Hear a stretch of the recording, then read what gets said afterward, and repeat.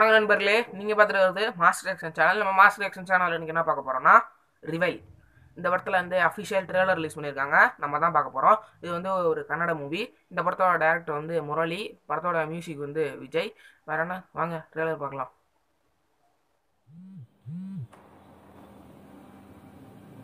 ಏನಿಟು ಟಂಪಿರ್ಪುಡಿ ಯಜ್ಞೆಯೋಳ್ ಕಾಡಾಡೊಡಂ ನೂರು ಮಡಿಲೇಶು ಕರುಬು ಕೆಚ್ಚಿರುವ ಏನಮ್ಮ ನಾಡಿಗೆ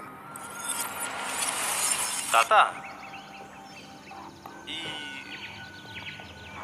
ಭೀಮೇಂದ್ರ ಪೊನ್ನಪ್ಪ ಯಾರು?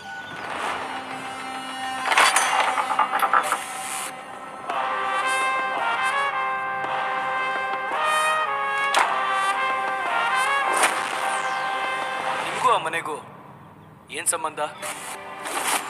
ನಾವು ತುಂಬಾ ರಿಸ್ಕ್ ಇರೋ ಜಾಗಕ್ಕೆ ಬಂದಿದ್ದೀವಿ ಅನ್ನಿಸ್ತಾ ಇದೆ.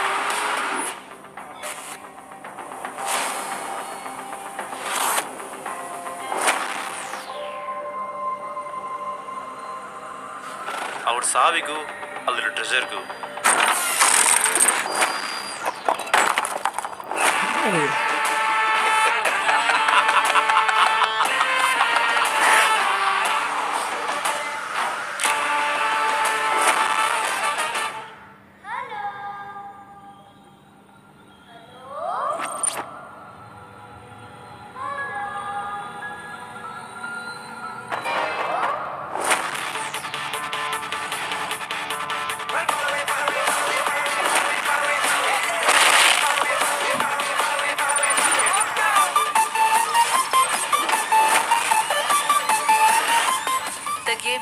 over.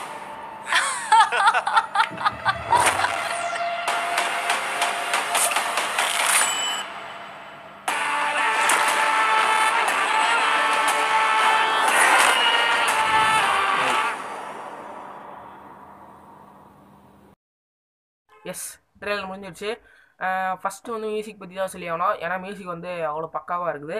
அது வந்து ட்ரெய்லர்லேயே உங்களுக்கே ஒரு சீனில் வந்து அந்த ஃபீல் கிடைக்கும். கரெக்டாக வந்து மியூசிக் இருக்குது அப்படின்ற மாதிரி. அதனால தான் மியூசிக் பற்றி சொல்கிறேன் இந்த படத்தோட கதை ஒரு அட்வென்ச்சரான ஒரு புதையலை தேடுற ஒரு கதை தான். அதாவது என்ன சிம்பிளாக சொல்லணும்னா நம்ம ஊர் இரும்பு கோட்டை முரட்டு சிங்கம் படம் மாதிரி தான். அதுலேயே வந்து ஒரு விஷயம் தேடி போவாங்க. அதுக்கு நடுவில் இருக்கிற பிரச்சனைகள் தான் இதாக காமிச்சிருப்பாங்க.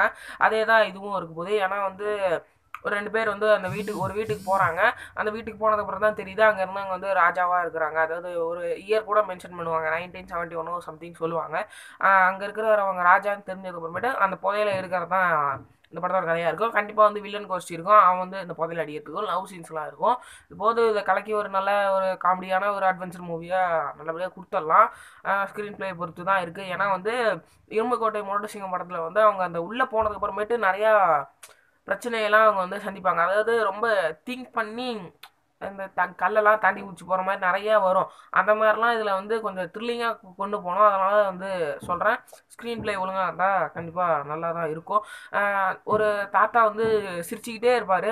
இந்த ட்ரெய்லரில் சிரிச்சுக்கிட்டே இருப்பார். டக்குன்னு அமைதியாகிறாரு அதுதான் வந்து அந்த ராஜாவோட ஃப்ளாஷ்பேக் சீனாக இருக்கும் அப்படின்னு வந்து நான் சொல்கிறேன் கிராஃபிக்ஸ் இதில் வந்து ஒரே ஒரு சீ ஒரு சீனோ ரெண்டு சீனோ வந்து கிராஃபிக்ஸ் வந்து பண்ணியிருந்தாங்க. இது ஒன்றும் டூ பாயிண்ட் ஓ கிடையாது வந்து அப்படியே பெரிய லெவலில் வந்து விஎஃப்எக்ஸ்லாம் செய்ய முடியாது.